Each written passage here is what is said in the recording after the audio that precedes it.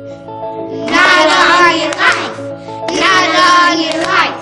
I'm not letting you out of my sight.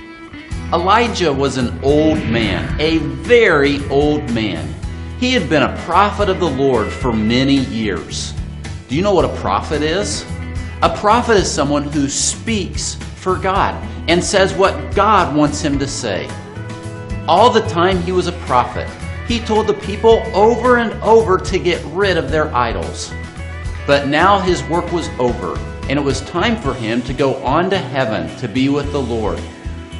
God had someone in mind to take Elijah's place. It was a young man named Elisha. We learn a lot by watching other people, and that's how Elisha learned from Elijah. Elisha went everywhere with Elijah and watched him very closely. God told Elijah to go to Bethel because there was something he needed to do there.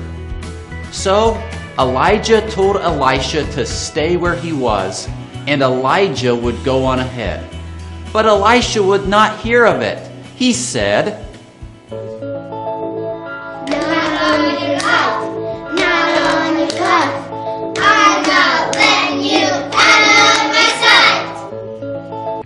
Elijah made his very last trip to Bethel to visit the students there. The young students pulled Elisha aside and said, Do you know that the Lord is going to take Elijah today? Elisha said, Yes, I know. Then Elijah told Elisha to stay there because God wanted him to go on to Jericho because there was something he needed to do there. Elisha said,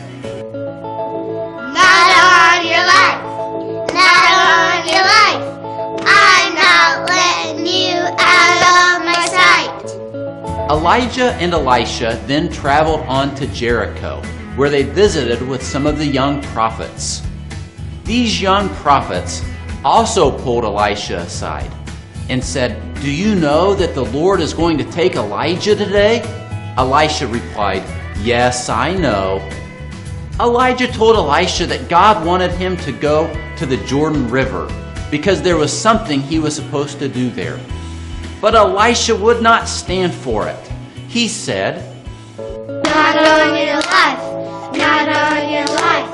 I'm not letting you out of my sight. This time, 50 of the young prophets from Jericho followed along behind Elijah and Elisha while they were going to the Jordan River. When they reached the water's edge, Elijah took off his coat, folded it, and then smacked it on the water. Immediately, the water parted and left a dry path to walk across the river. Elijah and Elisha walked across. As they walked, Elijah asked Elisha, What do you want from me, Elisha? His answer was strange. He said, I want twice as much of your spirit. That was not something Elijah could give Elisha. Only God could give that. But Elijah told Elisha how he would be able to tell if God gave him a double portion of his spirit. Elijah said that if Elisha was permitted to see Elijah when he was taken away, then God granted this special blessing of his spirit. Suddenly, as they were walking along, a chariot of horses that looked like they were made of fire came swooping down from heaven. Right before Elisha's eyes, Elijah was taken away in a chariot of fire. There was nothing Elisha could do to keep him there, even though he was probably thinking this.